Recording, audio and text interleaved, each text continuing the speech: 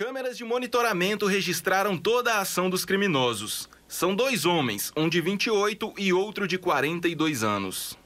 Inicialmente, não é possível ver a vítima na imagem registrada por esta câmera. Ela só aparece após ser atacada pelos criminosos. Ele foi muito violento comigo, muito violento mesmo. Ele já desceu, um já falou assim: passa, passa, perdeu, perdeu.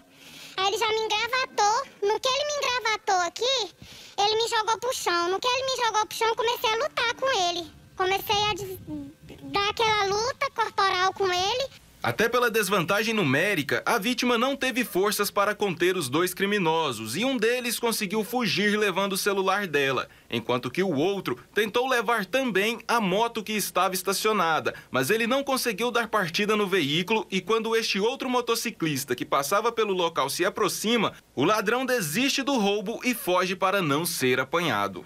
Logo após os dois criminosos deixarem o local, a vítima conseguiu acionar a polícia militar e registrar um boletim de ocorrência. Os policiais assistiram às imagens de monitoramento e, pelo vídeo, conseguiram identificar os dois criminosos, que inclusive são bem conhecidos do meio policial. E então, foi apenas questão de tempo até eles serem encontrados. Iniciou diligência e patrulhamento nas proximidades, ainda no setor Vila Brasília, é, pôde encontrar um desses indivíduos, foi feita a abordagem é, e esse confessou que teria feito o, o roubo. Foi localizado o, celular na, na, residência dele e pouco momento depois também um outro, o outro autor também foi, foi localizado. Também foi questionado e foi confirmado também que esse também praticou o, o roubo. O celular foi devolvido para a vítima e os dois criminosos foram apresentados na delegacia da Polícia Civil e autuados em flagrante pelo crime de roubo, o que não é novidade para nenhum deles. Um dos autores tem seis passagens por furto, também já tem duas passagens por roubo e uma por associação criminosa.